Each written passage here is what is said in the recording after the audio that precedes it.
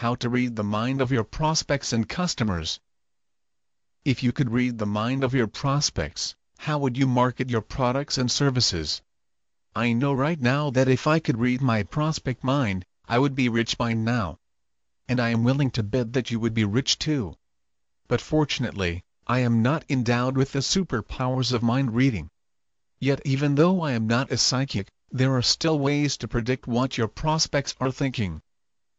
The first thing that we know is that they have a problem of some sort. It's your job to find out what this problem is, and how to develop a marketing strategy on how to find a solution for their problem. 99% of the time, the solution that they are looking for is very close to the product or service that you have to offer. All we know initially is that they are going through some things that are making it hard to live their life. It's your job to figure out what this problem is, and how you can respond with an answer that can satisfy their needs. To start, one of the best things that you can do to help your prospects out is to offer free information. Have you ever seen those lawyer ads on TV saying, if you have been hurt in an on-the-job injury, give us a call at 1-800-000 0000 and we will mail you out a package that details everything that you should do next. I see these ads all day every day in my city, and I am willing to bet that the lawyers who are running these ads are making a killing. You can do the same thing in your business.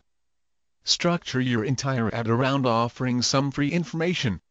If you are a lawyer, offer a free consultation or a free report of some sort. If you own a bakery, offer a free cupcake or free sample of any cake in your store. If you are a doctor, offered free initial consultation into your place of establishment.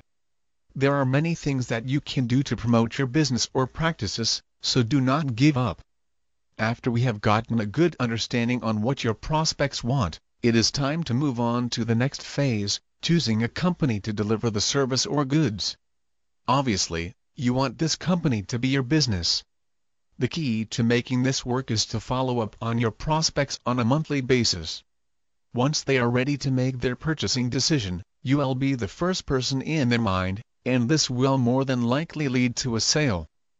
Your prospects do not want to feel bad about choosing you for the job, so offer a guarantee of some sort. It could be a money-back guarantee. It could be a no fee if we do not collect type of deal, or any other thing. Just offer something for free so that you can get your foot in the door. Take these marketing tips and use them to take your business to the next level. Good luck with marketing your products and services.